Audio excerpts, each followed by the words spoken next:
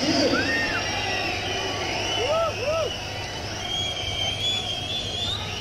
right, come.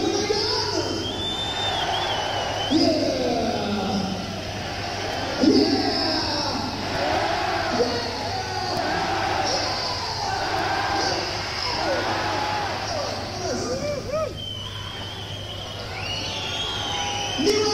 from Iron Maiden this year. The album's called The Powerslave, somewhere.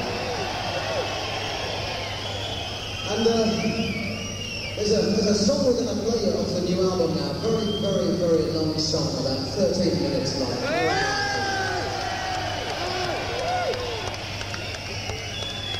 About the story of albatross in the sky